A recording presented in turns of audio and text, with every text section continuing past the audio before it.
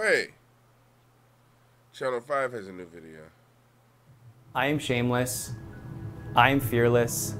I am doubtless because fear in the present moment is fear. Fear in the past is shame. Fear in the future is doubt.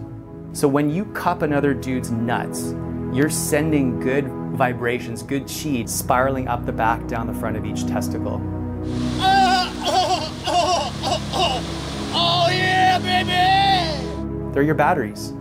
So when you focus on your testicles, you're literally charging your batteries. And of course, you're probably the first guy in your family lineage who's doing shit like this, at least for hundreds of years. So of course the shame's gonna come up. Of course the fear is gonna come up, and of course the doubt's gonna come up. So I always just tell my students, say, what do your balls feel like right now? Smile into that feeling.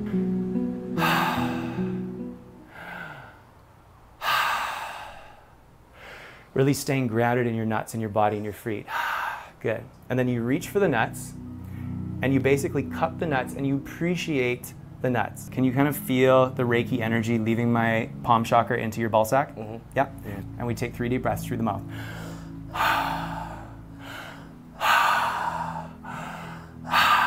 And then you say, I see you, brother. I see you, brother. Amazing. And then you give them a hug. Nice. You smell good. Thanks, man. You smell pretty good too. My name is Will Blunderfield. We're in my apartment in Vancouver, Canada, and I teach sexual kung fu. So it's the daily You can just be gay. Like, that's okay. You don't have to turn it into some type of weird guru, let me grab your nuts and change your life kind of thing. discipline of harnessing and directing your sexual energy from your loins up into the rest of your system rather than constantly just shooting it out like most guys do. Some people are like, well, you're saying that, you know, you should love yourself as you are. Why are you encouraging guys to grow their cocks? But I'm just saying, let your cock and your balls fully exist in the form that they're meant to exist in beyond the poisoning. The sad truth is that cock size is the smallest it's ever been in recorded history. So my holistic approach is a three pillar thing. It's about getting the pesticides and the microplastics out of your body through superfoods and detoxification protocols.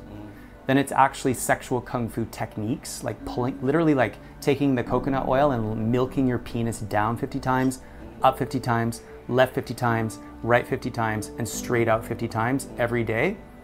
My balls used to be the size of like enlarged, like slightly bigger than an almond, and now they're both the size of like a Brazil nut. Mm-hmm. And it's great to be able to feel that. And it's also great to be able to lengthen the penis. Easiest way to really come into the, the penis in terms of lengthening it, you literally just make an OK grip and you just pull it, pull it down. The penis and the tongue are the outermost extensions of the heart. In classical Chinese medicine, you're just like, Traditionally, you sit naked. My teacher Mantak Chia taught me this. Later on, we're going to talk a lot about screwing technique. Literally focus your consciousness into your nuts because energy flows where the mind goes. There's also something that my teacher Troy Casey taught Can me. It's not? called testicle slapping. Can we not? So you do this for maybe two minutes, not too hard, not too easy, just right, mixing the blood and the chi in your balls, increasing your testosterone, which will increase your manhood. And then you take the energy of nature.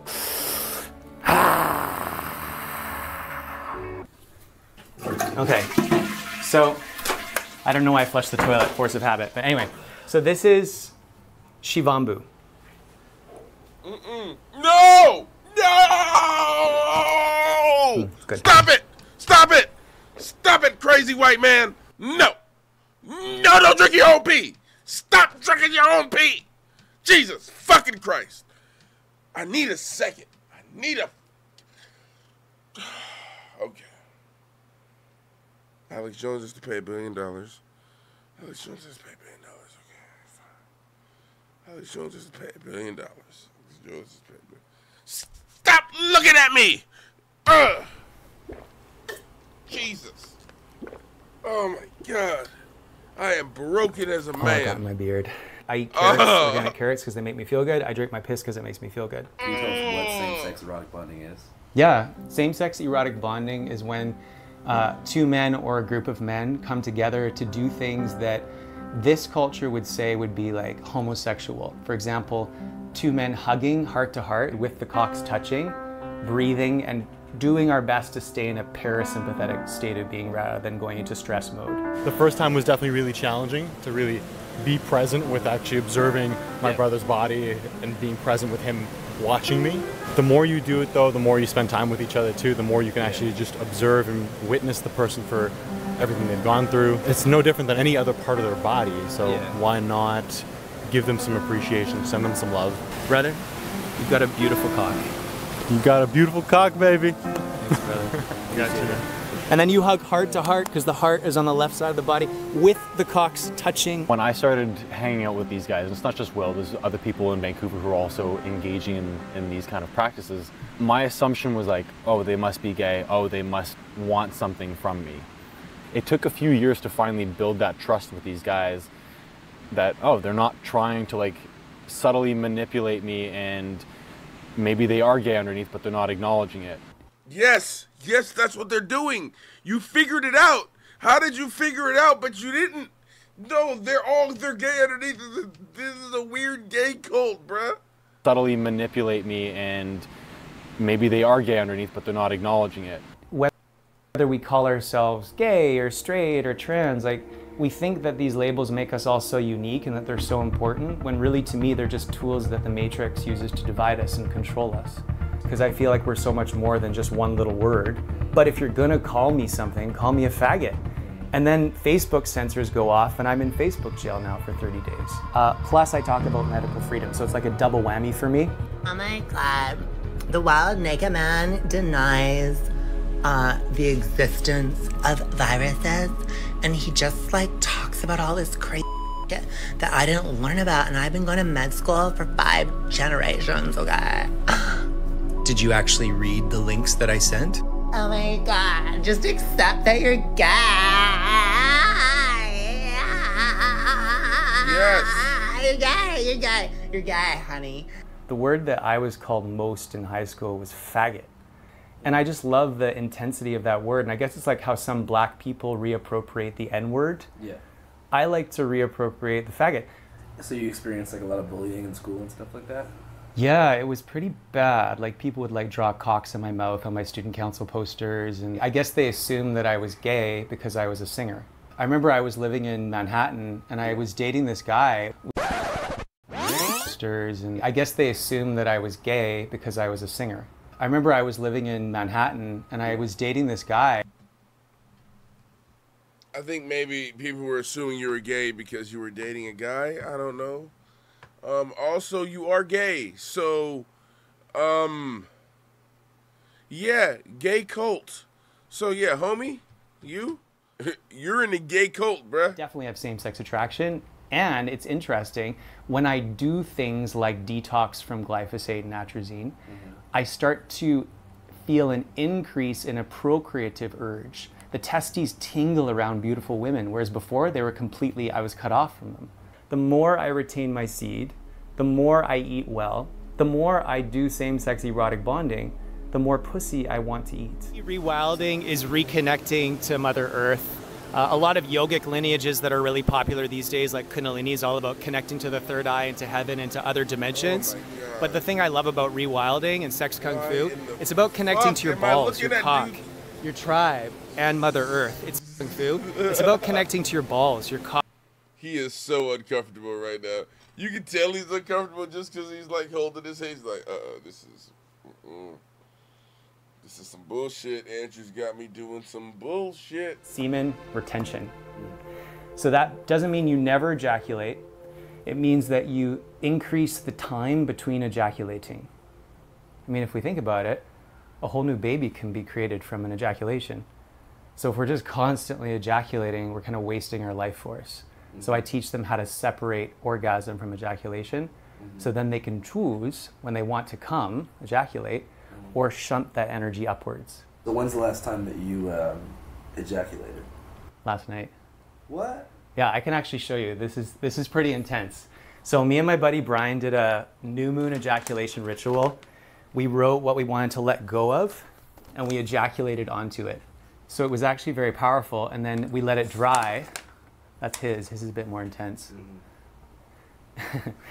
With the recent ejaculation ceremony we did, my intention was to purge uh, certain energies or certain narratives. Then we do some sex kung fu, so testicular breathing, and then we draw up some of that energy as we're um, stimulating ourselves, as we're exciting ourselves, so that all the sexual energy doesn't get poured out of the ejaculate. I have to and then go eventually we back. bring I ourselves have full to. I'm draw- sorry. I gotta do it. That's his. His is a bit more intense. What the fuck is that? So it was actually very powerful, and then we let it dry. That's his. His is a bit more, more intense. Oh, you got oh, oh, bruh. Oh, I can smell it. With the recent ejaculation That's ceremony we did, my intention was to purge uh, certain energies or certain narratives. Then we do some sex kung fu, so testicular breathing, and then we draw up some of that energy as we're um, stimulating ourselves, as we're exciting ourselves. Men. And if the world's male leaders did this work together, I believe there'd be a lot more peace and camaraderie. Yeah. Yeah. Yeah.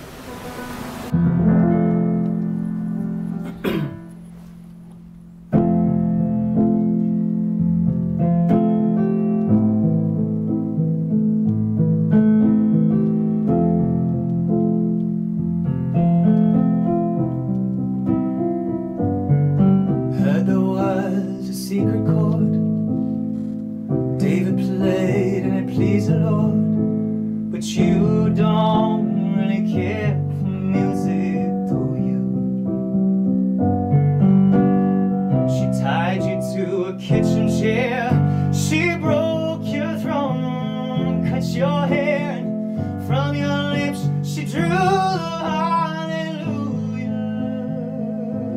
it's not a cry that you hear at night. Oh, it's not someone who claims to have seen the light. It's a cold and it's a broken.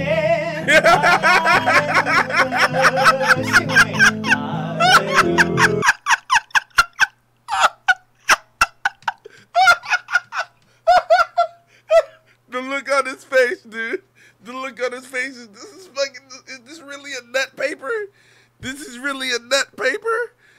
Uh, yeah, he's a great fucking singer, but like. That's why Andrew had to cut this in here. It's like he's a great singer. It's a cold Don't forget though. It's a broken. Oh. He's like, Hallelujah.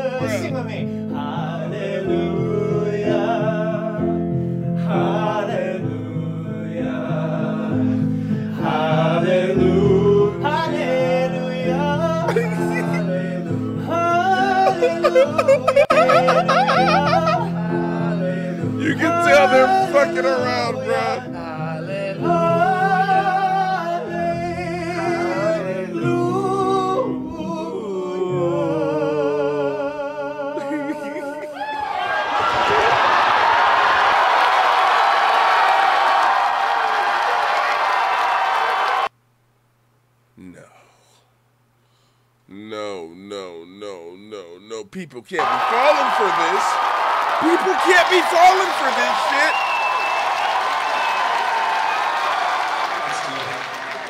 Everybody sing with me.